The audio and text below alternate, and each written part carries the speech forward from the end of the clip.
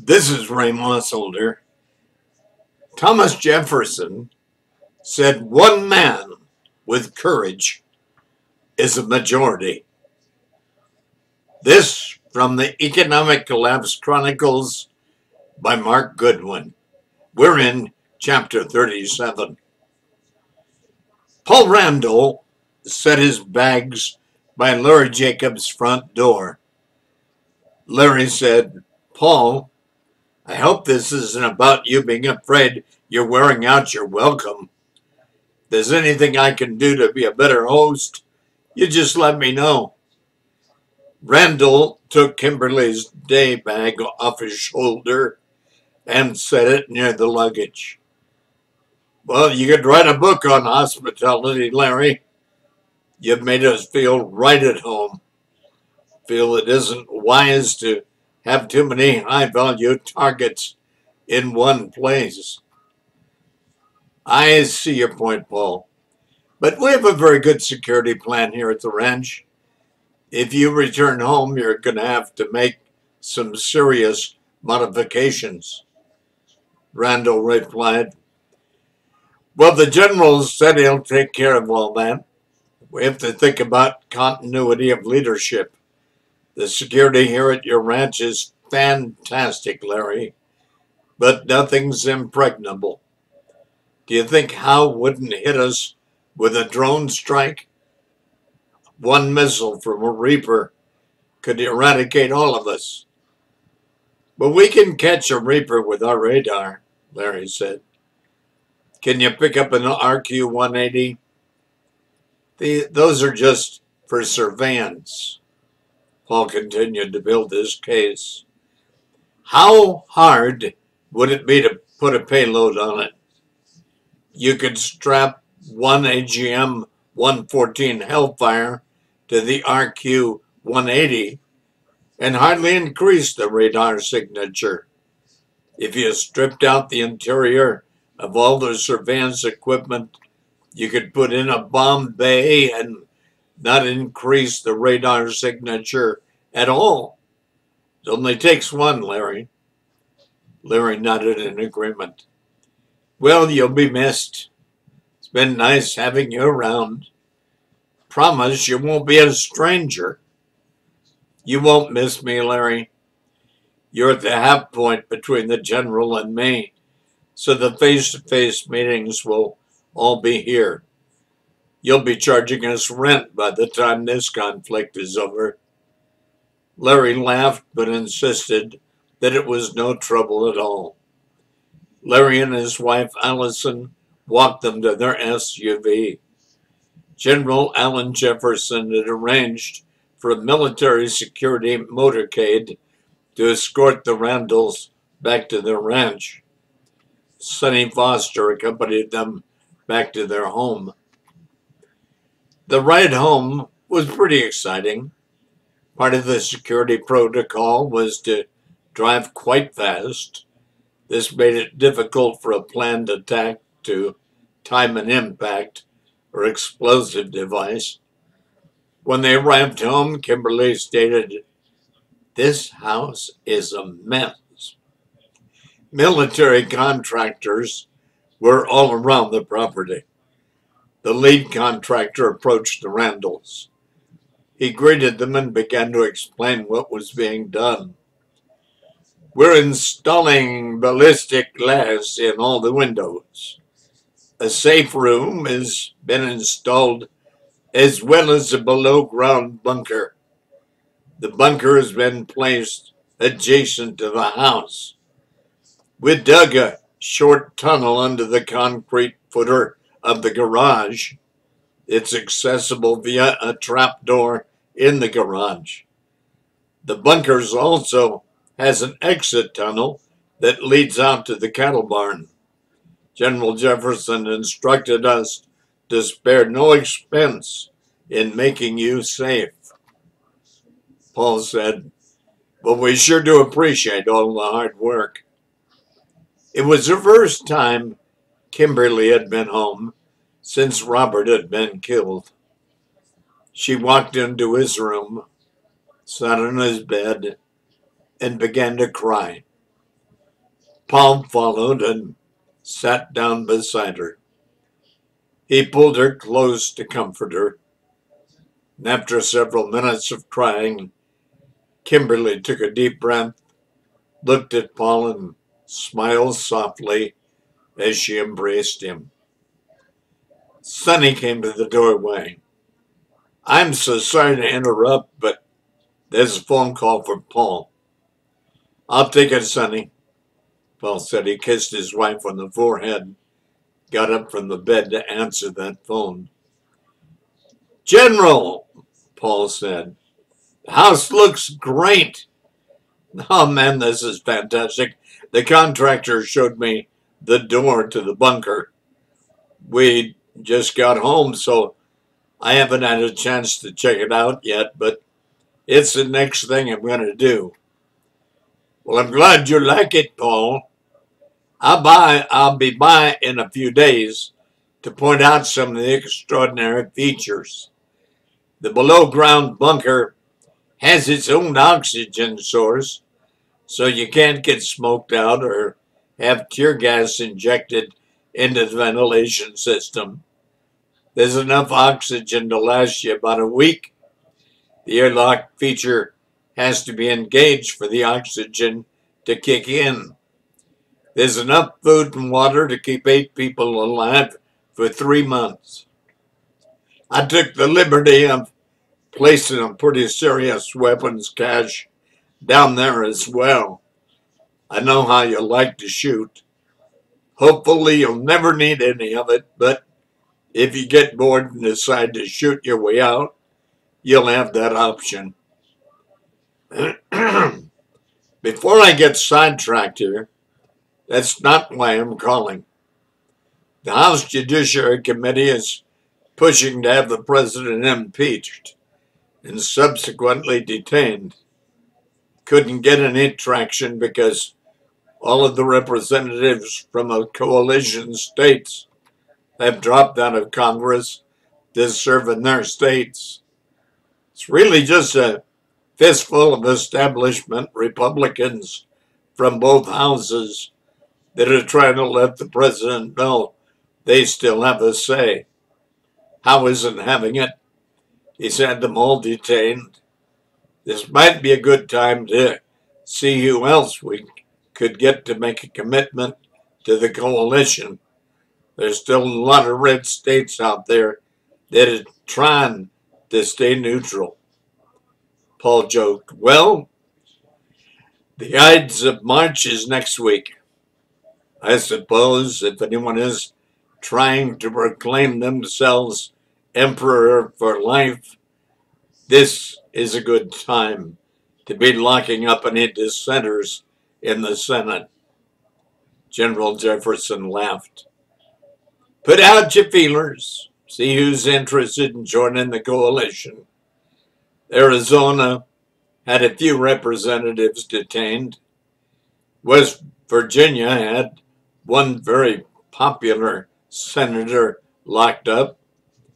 Don't make anyone any promises about dedicating military support to evict federal offices or take over military bases in their states. We're going to be focusing all our attention on taking Minot Air Force Base.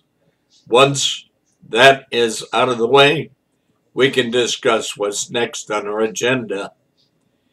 Sounds like a plan, General. I'll call around and see where the leadership is at. The more the merrier. Take care. Paul finished and hung up the phone. It operated via encrypted VoIP.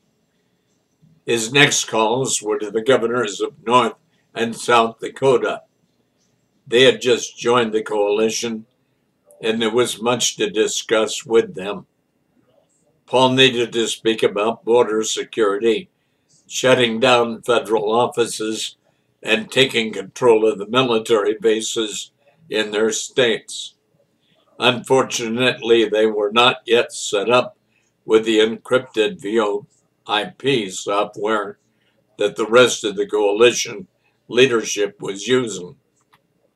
Paul told the governor of North Dakota, Governor, I'll be sending a delegate from the coalition to meet you with you this week. This delegate was actually the coalition security IT specialist that would be getting them set up with the encryption software so they could have private conversations. Traveling across the federal states was too risky for leadership, but communication was vital to the effort. The governor of North Dakota agreed to receive the delegate, just as the governor of South Dakota did. Next, Paul Randall called the governors of Arizona and West Virginia. The governor of Arizona said, We're sympathetic to the coalition, but we're just not ready to make a commitment. West Virginia governor said essentially the same thing. State legislature just unsure at this particular juncture. I'm sure you understand. Paul understood all right. I understand that you're choosing tyranny because you're a bunch of cowards, he thought to himself. Chapter 38 The trifling economy of paper as a cheaper medium or its convenience for transmission weighs nothing in opposition to the, to the advantage of the precious metals. Liable to be abused, has been, is, and forever will be abused in every country in which it's permitted. Who said that about paper money? Thomas Jefferson. Matt sat on his porch and drank his coffee quietly in the cool mountain air. He considered how much life had changed all over America. Nothing about it looked the same as six months ago. The decline had been coming steadily for years. But the past few months brought about a sharp crash that changed the living standards of every American. Even the rich felt it. They could no longer go to their favorite restaurant in the hot part of town. Restaurants were non existent. The restaurants that had clientele who could absorb the rapid increases in prices held on until the dollar completely failed. But after that, they locked the doors. The news told stories of home invasions that erupted in upscale neighborhoods. The days of picking up the phone and calling 911 were long gone. Those who had the foresight to have items available for barter could hire former police officers or former military personnel for security. There was a growing market for security work among the affluent who had something to pay with. Unfortunately, before the crash, many of the so called upper class were living above their means to keep up appearances. Large portion of those were truly wealthy prior to the collapse, and all of the wealth tied up in the stock market or in cash. Those with vast sums of cash in the mattress were no better off. Those with, if they hadn't converted their dollars to hard assets before the dollar bit the dust, the money was use, useful only for kindling or wallpaper. Then Matt considered the working class like Karen and himself the middle class was entirely wiped out. There were no more jobs, and suburban landscapes had been transformed into wastelands run by gangs and criminals. Those that had somewhere to go left. Those who didn't weren't able to survive. Food was pretty much gone in all metropolitan areas. The last remaining bits of food in warehouses and convenience stores were stripped out by gangs and looters. The news showed that the military was doing everything it could to keep the soldiers fed, but millions of civilians were dying of starvation. The gangs turned to cannibalism and were feeding on other humans to survive. Rural areas, that was a different story. Those fared much better, depending on whether they were in the federal states or the coalition states. According to reports on alternative media sites, in the federal states, the military had begun going house to house to collect supplies to distribute to the needy. The needy ended up being the military. Cattle, pigs, poultry, eggs, and stored food were commandeered for the good of the country. Farmers were left enough to survive on so they could continue to produce goods. They were promised compensation once the new currency was established.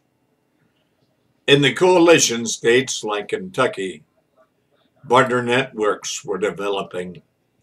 People pitched in to help each other out.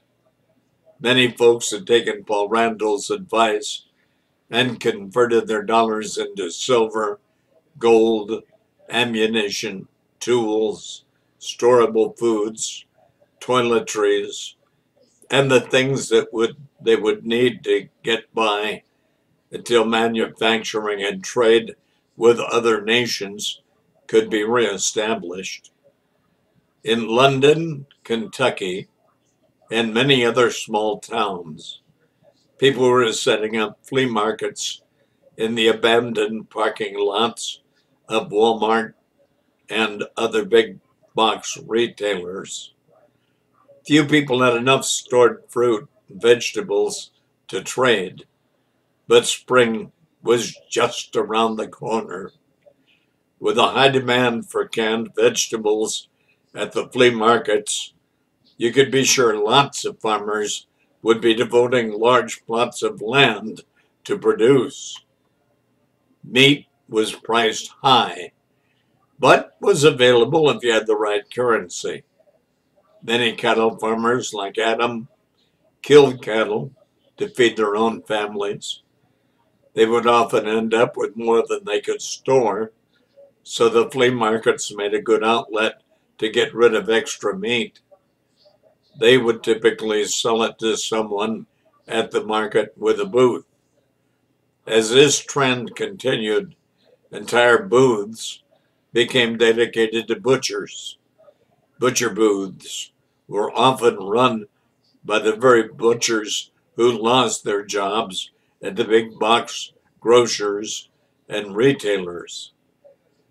Besides beef, the butchers regularly carried venison, rabbit, chicken, pork, and various other wild game. There was no FDA to regulate the butchers. However, the free market quality weeded out anyone who sold foul smelling meat or failed to keep a tidy workspace. Customers simply chose another vendor. At the flea markets, large transactions typically took place utilizing gold. Gold coins were common, but gold jewelry was accepted by merchants who had scales and the time to figure out the value of the pieces.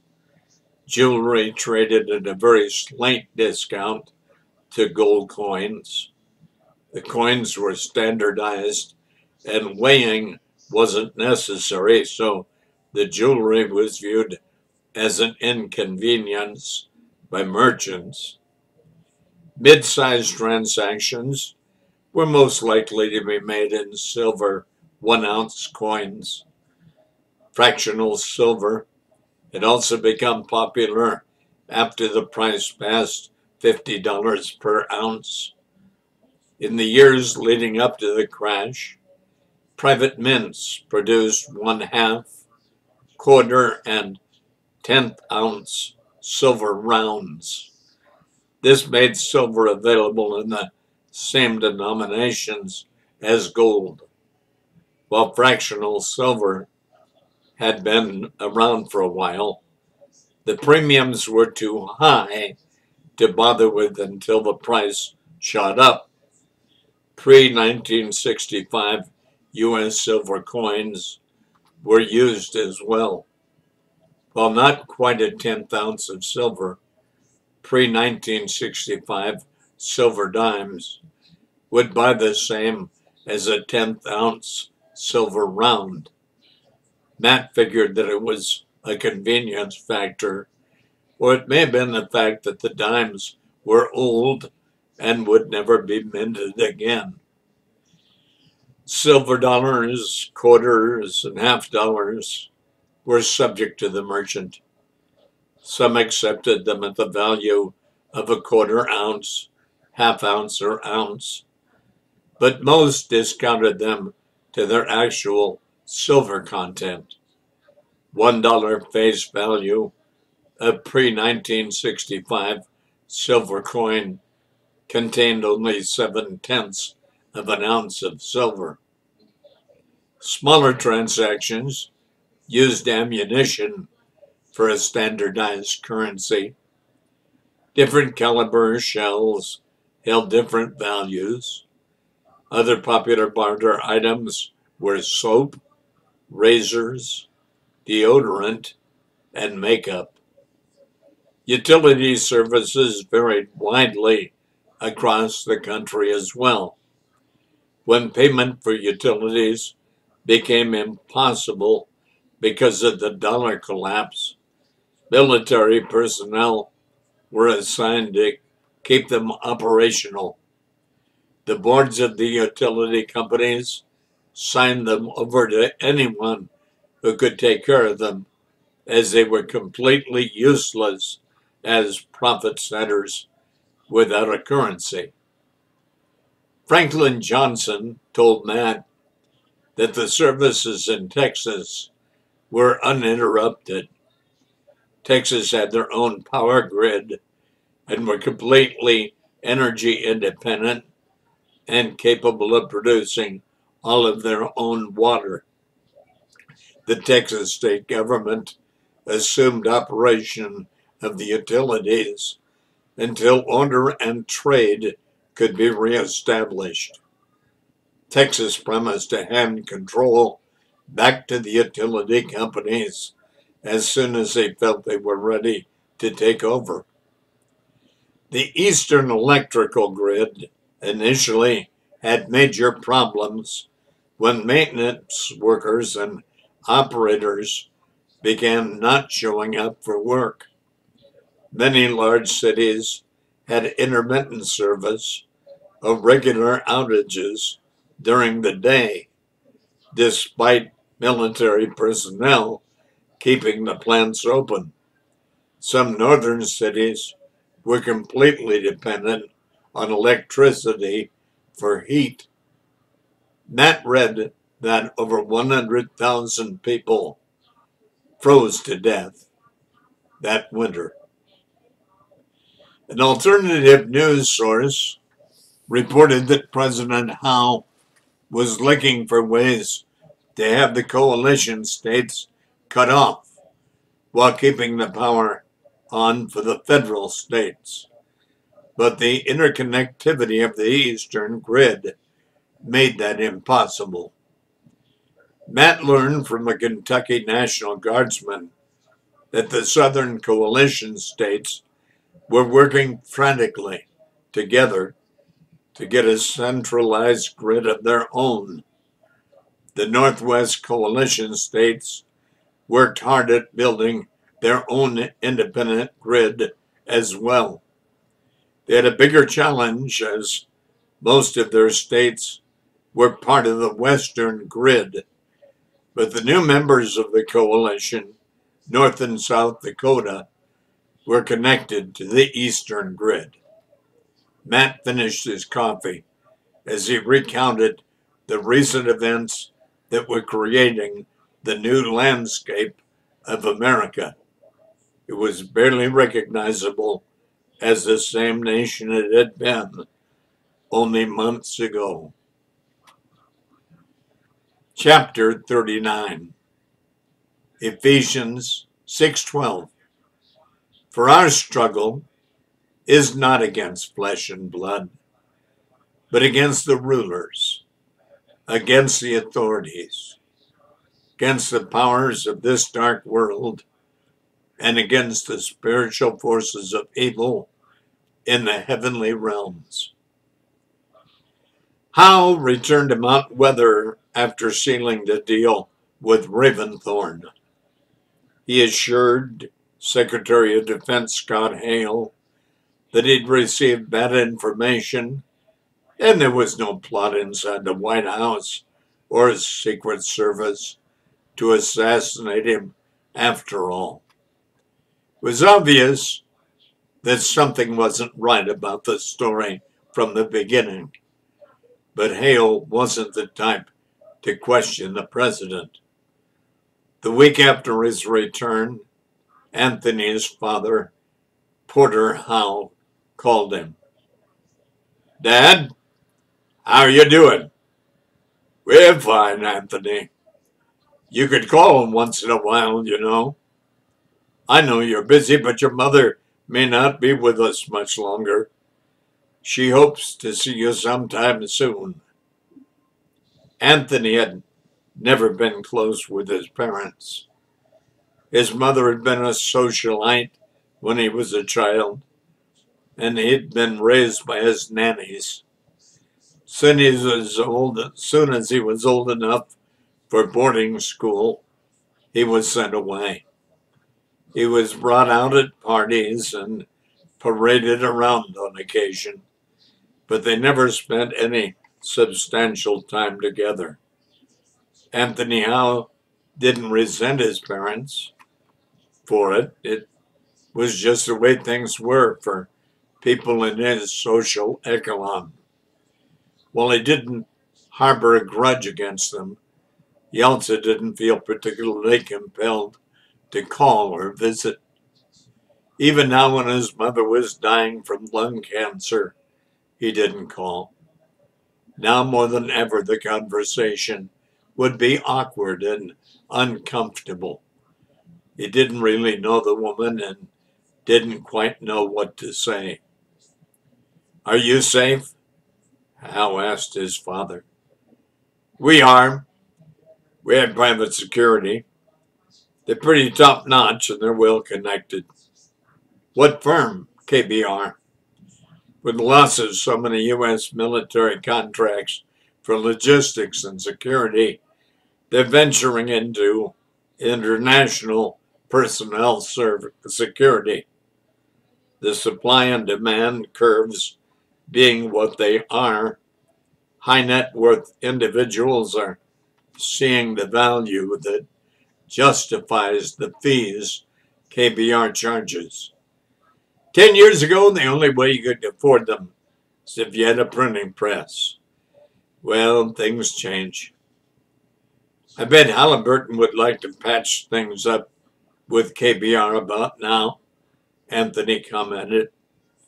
His father and he could always talk about business together, was the one thing they had in common.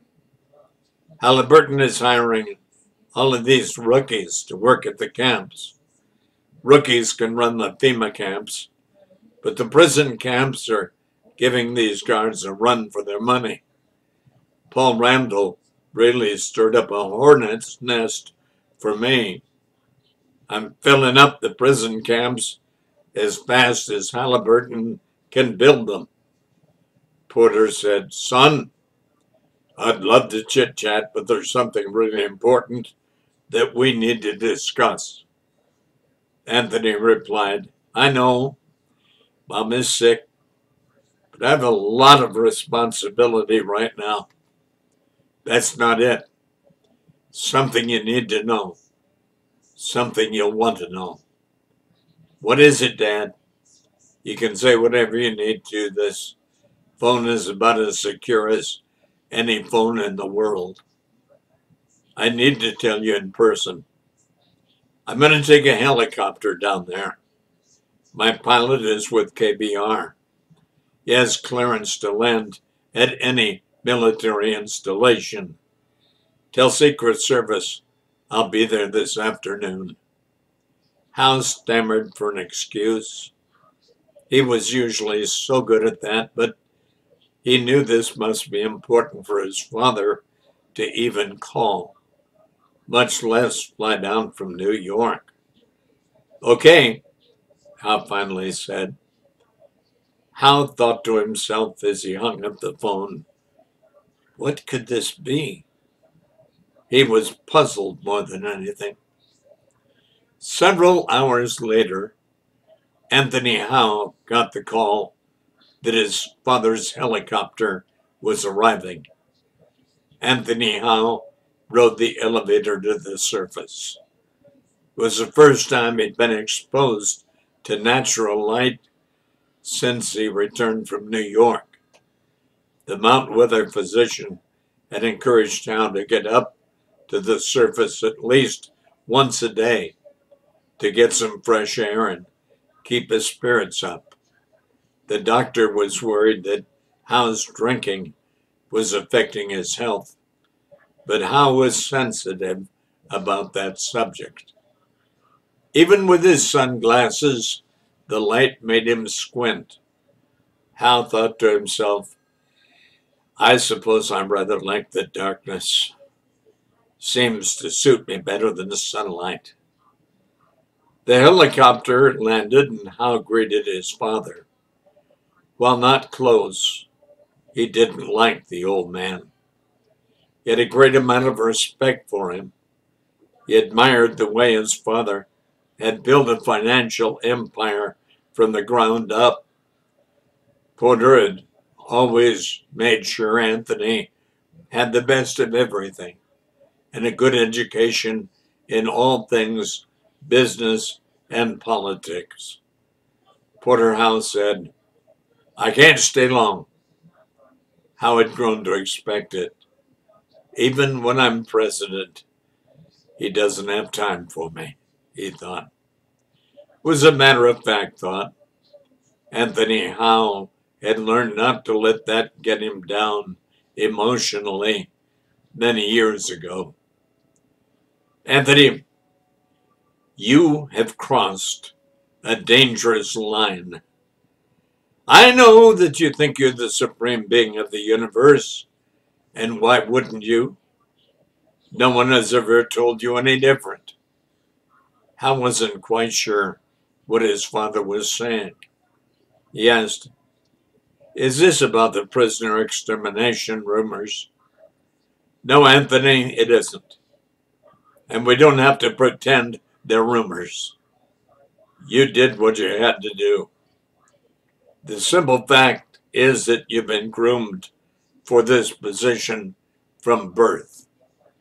Before you were born, it was determined that you'd be brought up with a certain education, certain connections, and a certain path would be laid out for you. Well, I knew you had aspirations for me, Anthony still didn't know where this conversation was going. Not me. We. When I was a young man at Yale, I made a pact with my fraternity that my firstborn child would be brought up into the position of President of the United States. Many men have worked diligently to make certain that this would come to be.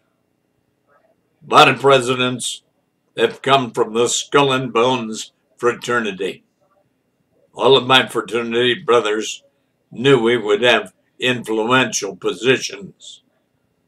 His father continued, Yes, many of them knew they were to become president. After Kennedy, the men in power decided that it was best to let the elect think it was destiny that brought them to their positions.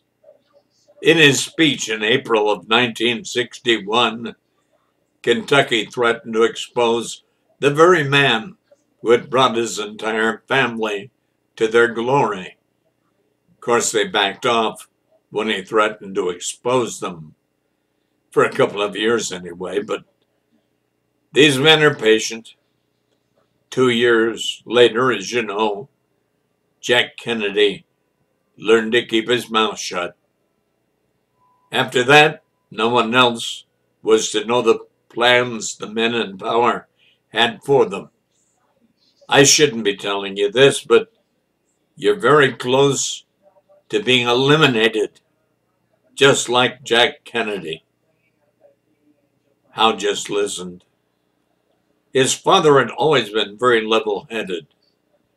Anthony Howe knew that being in the skull and bones guaranteed a prominent position, but he'd never thought it meant elections would be decided for him or that there would be men behind the scenes pulling the strings and pretending to be gods.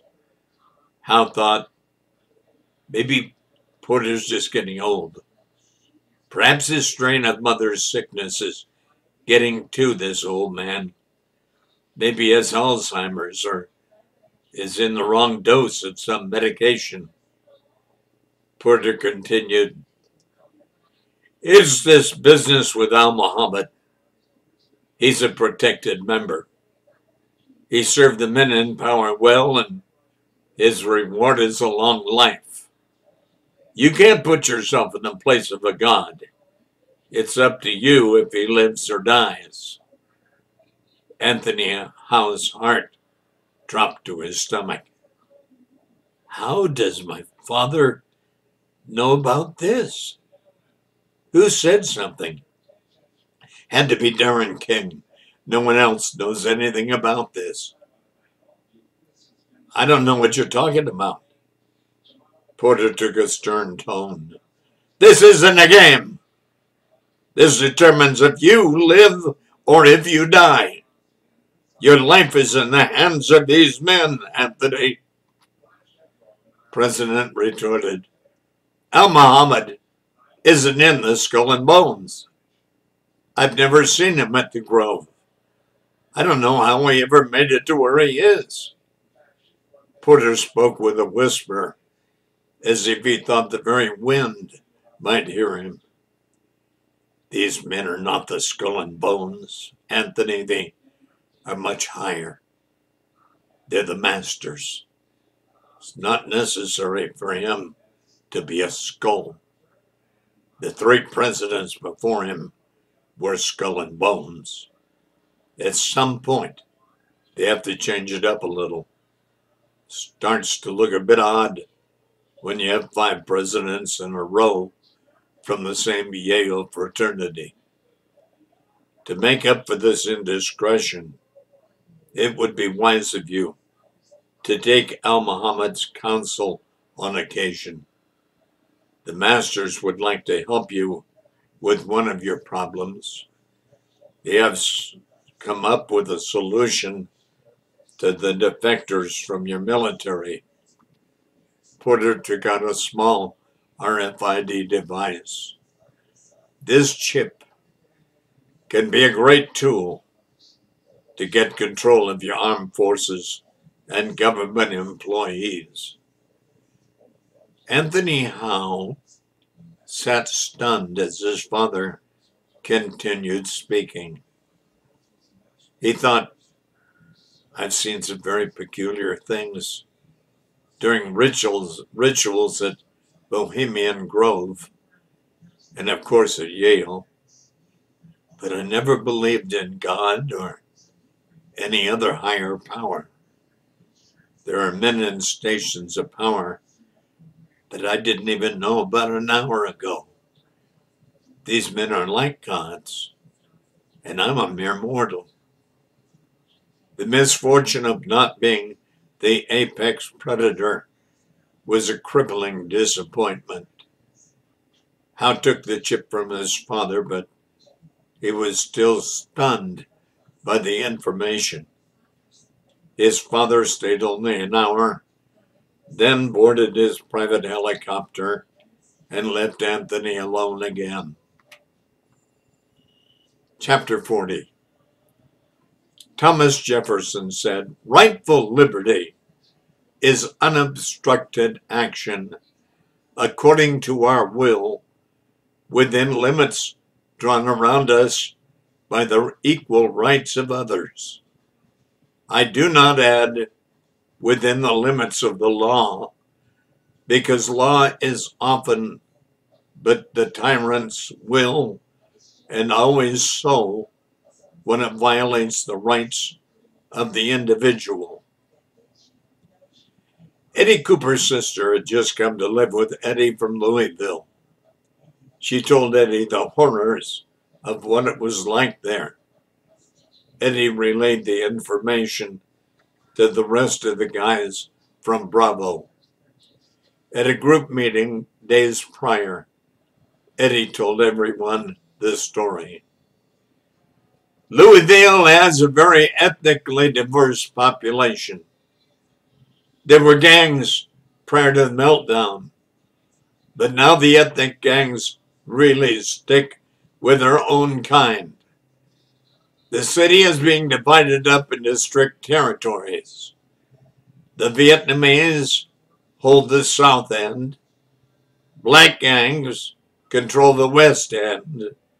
And a new violent Mexican gang is running rampant in the east end of town. The east end had previously been the most affluent. But the Mexican gangs now occupy several neighborhoods through systematic home invasions. My sister stayed in Louisville for so long because she lived in the East and she thought it would be safe. Her husband was killed two days ago and she left. She told me all about the conditions around town when she finally left. There was no economic activity aside from the gangs.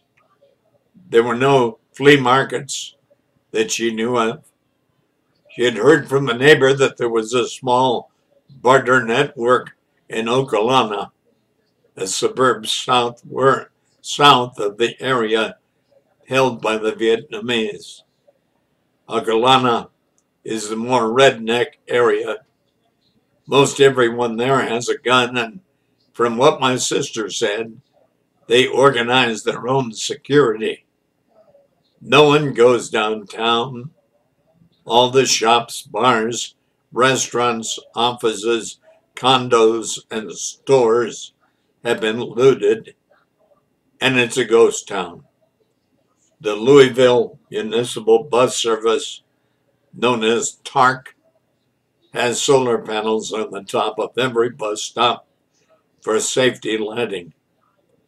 My sister said that none of the panels had been taken from her neighborhood, which makes me suspect that they would still be on the bus stops downtown. Seems like the gangs aren't paying attention to the politics that are heating up over the power grid and haven't thought of taking the panels for backup power yet. With this information, Adam devised a plan to go in and get the panels since that area of the city was completely abandoned. Adam's plan was to drive straight into the center of downtown get as many of the panels as they could carry, and get out fast. Matt, Wesley, and Adam loaded into Adam's truck. Adam said, We'll stop near Shelbyville to gear up and put on our tactical gear. It was 4.30 in the morning. Most of the gunfire would be dying down. Adam briefed the team. We'll arrive in downtown Louisville right around 7 a.m. the calmest part of the day. I'll pull my work trailer to load up with solar panels. JC will follow me in another truck. Gary and Eddie will ride along with JC. Jeff and Lee will follow in a third truck, which is pulling a flatbed trailer. Matt said, JC's truck has no trailer. We could use the old beat up horse trailer that I used to haul everything from Florida. Adam answered, Well, I think it would be too much of a target. We're big enough target just because we have fuel. A horse trailer would make folks assume we have livestock. When people are starving, even honest men may consider making a bad move if they think we have something to eat in that trailer. Adam's truck was full of gas. Matt and Adam had stocked up fuel back when the ration cards first went into effect last year. Every member of the family could get a card, so they took cards for everyone in their group, even Mandy and Carissa. Jeff also stocked up on fuel when it was more available. Conserving fuel was a way of life now. JC's truck was marked Flex Fuel, which meant it would run on E85. Gary was producing several gallons of fuel grade alcohol every week to sell at the flea market. Prior to Gary dedicating his life to Christ as a teenager, he had helped his grandfather make moonshine. Kentucky had lifted the prohibition on distilling for personal use after the crash. The state was not encouraging drunkenness. They were encouraging people to be able to take care of themselves. The state recognized the usefulness of moonshine for a fuel alternative and for an antiseptic. Seeing there were no more federal laws in Kentucky prohibiting it, Gary's conscience was free to produce it for fuel and medicinal purposes. Adam continued, three trucks running 300 miles round trip is going to dump a massive amount of fuel, but the payoff could be great. Gasoline and diesel are still available at the flea market, but both fuels are extremely expensive. If we can get enough solar panels, the amount of energy we will harvest from the sun will far surpass what we'll be expending to retrieve it. Solar panels won't fuel trucks, but they will keep us from having to burn more fuel to run generators if the grid goes down. We all know the risk of going down is pretty good. The load being sucked out of the grid by the cities could cause a cascading failure. Besides that, Howe has proved that he's a hothead. If he could shut down our grid without turning off his own power, he would have already done it. Who knows how long it, that will stop him? He's already proven that he'll kill his own in order to inflict pain on the enemy. The men loaded up and rolled out. All three trucks reached Shelbyville without incident. They pulled off at the exit and met up at an abandoned gas station. Adam gave the last minute instructions. Everybody gear up. You six are going to be working security. Matt and I will be removing the panels, and JC will be loading them into the trucks and trailers. Matt, JC, and I will be wearing blaze orange vests and white hard hats. That will at least make us look like city workers, even though there hasn't been a city worker for months. The security team will wear all black, which makes them look more official. Matt, JC, and I all have our sidearms in case we need to engage an enemy. I know everyone just finished their checkpoint duty yesterday. You haven't had a chance to rest up. I wanted to get this done before everyone got a chance to get home and relax for too long. Right now, your minds are still in militia mode. You're still sharp. After a week off from your checkpoint duty, we all get relaxed and lose our edge. After the men geared up, Adam did a pre combat inspection to make sure everyone's gear was up to spec. During the inspection, Jeff asked, Is this stealing? Matt answered, Do you mean when the Republican congressman from the district took an earmark for these solar panels so he would sign off on the Democrats' Common Education Bill? Yes, Jeff, that was stealing. Money stolen from the American people by the IRS went to buy solar panels for bus stops in one congressman's district. As a representative of the American people, I know I'll never be made whole for all the wealth that has been stolen from me through egregious taxation and federal money printing but I'm willing to accept these solar panels as a partial concession. Matt wasn't smiling when he said it, but the rest of the group burst into laughter. Wesley applauded and mimicked a cheering crowd. The men mounted up and drove on to Louisville. They got off on 9th Street, decided that would be the western border of the operation. It was just as Eddie's sister had said. The glass was busted out of every single shop. There was no, no one around, but there was nothing left to loot. Was an eerie scene, like something out of a sci fi horror movie. They came to the first bus stop. Adam and Matt quickly jumped on top of the shelter and assessed the tools needed to remove it.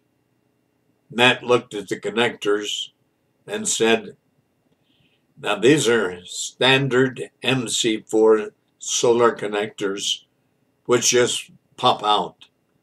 The screws have a special tamper-proof head. It's a Torx, a six-pointed star head Adam, do you have a driver for that? Adam answered, I have a driver with multiple attachments. It has, has a Torx, Torx that will fit, but I only have one. I'll work on the screws while you disconnect the connectors. JC said, I'll start taking apart the lighted display. This held a very cheap 10 amp charge controller and a 200 watt inverter. JC showed them to Matt, who said they only served to light the advertisement in the bus stop shelter, so they didn't need to be high powered. Nevertheless, if we can get several of these, it'll put out a lot of juice. That battery is even more of a joke. It's only an 18 amp hour cell on a positive note, is 12 volts. Several of them could easily be wired together produce, to produce a higher capacity. They quickly moved on to the next bus stop shelter. There was no one around, so two of the six guys working security got involved with removing the panels to make things go faster. It would have helped to have another Torx head driver to remove the screws. When they got to the fourth bus stop, Adam said, You guys getting the hang of this? We're moving along pretty fast. By 8.30 a.m., they had cleared five bus stop shelters of the panels, inverters, cables, charge controllers, and batteries. It was going to be an all-day job. Adam reminded everyone, regardless of what we have at 4.30 p.m., we're going to pull out. I want to make sure we can drive through Lexington well before sundown. As far as cities go, Lexington is about the best shape of any of them, but that sure isn't saying much. The first part of the day went pretty smooth and no one bothered them. They saw a few solitary stragglers moving by on occasion, but none were in a hurry to take on a well-armed militia. The team took turns eating lunch and using the screwdriver to remove the specialized star screws. At roughly 2.30 p.m., they stopped at a bus stop in front of an old building on Broadway. They came face to face with several Mexicans exiting the building. The Mexicans looked as startled as the militia. The security team quickly raised their battle rifles to a ready position. The Mexicans lifted their hands as they came out of the building. The Mexicans had several lengths of copper pipe that they let fall to the ground as they raised their hands. The Mexicans slowly backed away, and the security team slowly lowered their weapons without a word, one to the other. Adam said, Okay, that wraps it up. We're heading home. JC said, I don't think they're much of a threat. I think they're just scavenging like we are. Adam replied, Yeah, but we don't know who they're scavenging for. They may be getting that copper for a gang that uses it for building stills to make liquor. We could be seen by them as a threat. I don't want to take that chance. We're rolling out. Everyone nodded and loaded up. The two trailers were fairly full, and one truck bed was half full of cables and batteries. It was a good haul, well worth the trip, if they could get home safely. They passed through Lexington, at just after 3.30 in the afternoon. And as they turned from I-64 east to 175 south, two Kentucky Highway Patrol cars pulled in behind them with their lights on. Adam picked up the walkie and alerted the other two drivers. There's no way these guys are real cops. We weren't even speeding. They have no reason to pull us over. Besides that, have any of you seen a cop in the last month? If they were real cops, they'd have something to do besides pull over random drivers. I think this is a robbery. Jeff, you're in the rear. See if you can tell how many there are in the front car. Jeff radioed back a few seconds later. Looks like two. Lee says they're in uniform. Adam said they would be. Wouldn't be believable if they weren't. I don't think they'll just let us keep rolling back to London. I think if we don't stop, they'll pick a target and start shooting at the tires. Best thing we can do is make a coordinated stand. Okay, let me think for a minute. Everyone was quiet.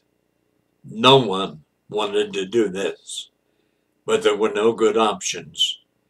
There were only bad options and worse options. A Minute later, Adam called back on the radio to everyone Jeff, slow down a bit, back them up off the trailers. We'll jump up ahead and then pull over. When you get to us, pull over behind us slowly to give us time to get ready. When you pull over, cut your truck sideways. We'll all jump out and run up to your truck. If we have to engage, we'll have the truck for cover. No one said a word. Adam called back. Is everyone on board with that plan? JC called back. 10 4. Jeff called back. Roger. The two trucks pulling the trailers shot forward, then pulled over.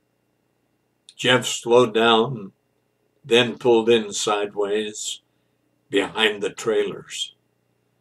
Jeff and Lee both jumped out of the passenger side, so they were behind the cover of the truck. Adam, Wes, Matt, and the others were at the truck by the time the men in the highway patrol cruisers got out. Adam called out, We're on a mission from the Kentucky Liberty Militia. I'm ordering you to stand down. The first man, man yelled, You men are all under arrest. Come out from behind that truck. Adam said softly, Everyone pick your target. The militia members in the rear raised their rifles over the bed of the truck. Those in front raised their rifles over the hood. The man who appeared to be in charge raised his shotgun and yelled, Drop your weapons! Adam called to his team, Fire! The militiamen fired. The front men in the highway patrol uniform fired one shot, then crumpled to the ground. The man near him fell before he pulled the trigger. The two in the back ran back toward the patrol car. One limped as he had been shot in the leg. The militia ceased fire, except for Adam, who yelled, Keep firing! The rest hesitated, but then resumed firing. The man who was limping fell to the ground after several shots hit him in the back.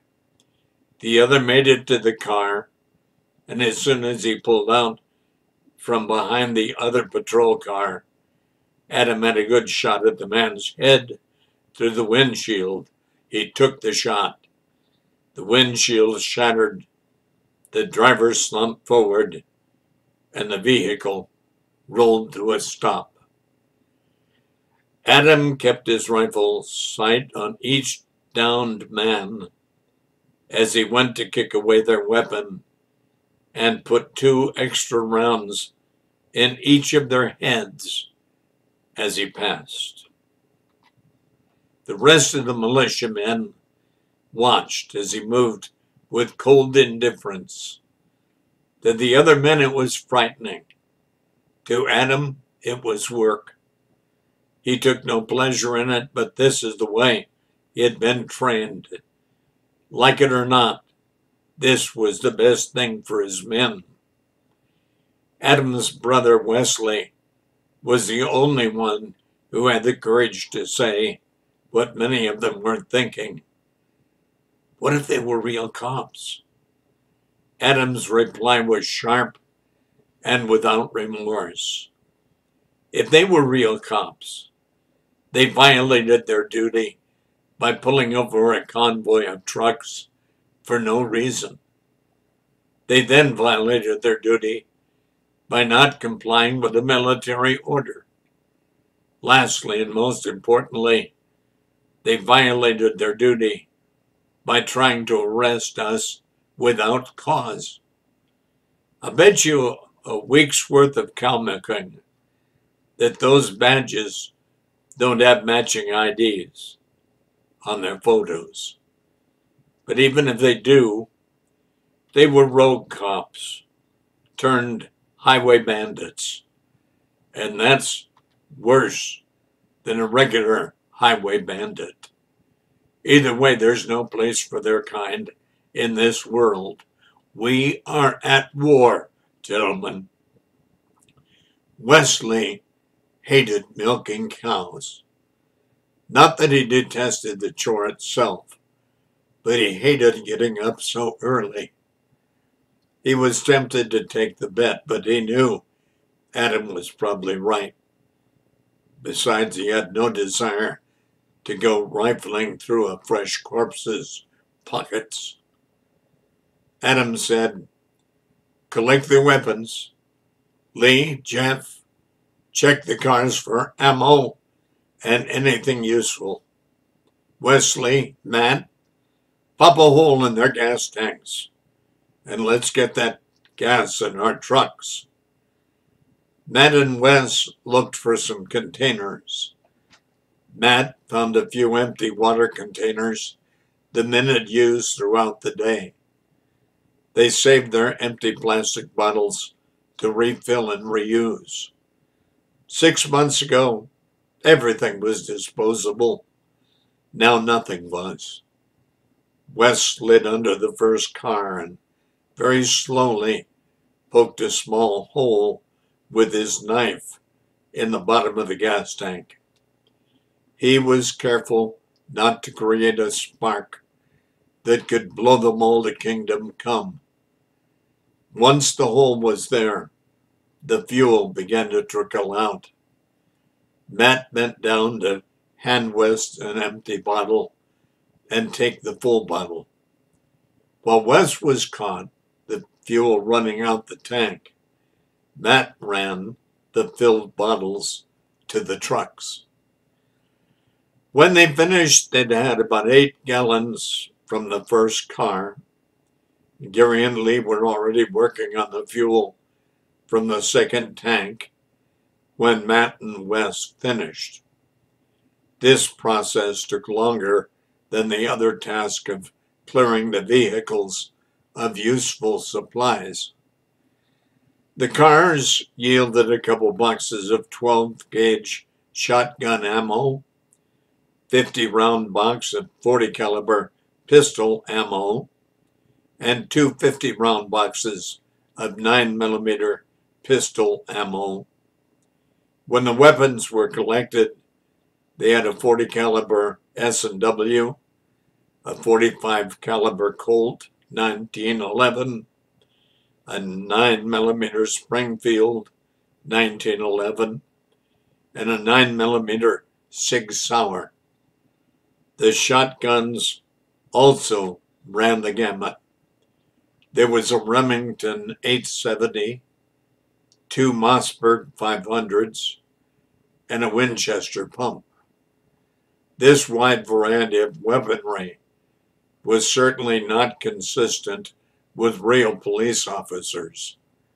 Adam checked for ID and badge wallets on the dead men. The men loaded up and headed home. Matt felt the familiar calm as the adrenaline wore off.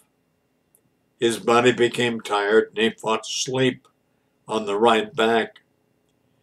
No one talked much Matt wondered if the men had really been officers. Adam didn't volunteer the information, and Matt didn't ask. He supposed Adam's reasoning had been sound. The men laying on the side of the road back there were criminals, regardless of what their job had been prior to the crash. And that's it. Patrick Henry said the Constitution is not an instrument for the government to restrain the people. It's an instrument for the people to restrain the government, lest it come to dominate our lives and interests. And I'll read that again tomorrow.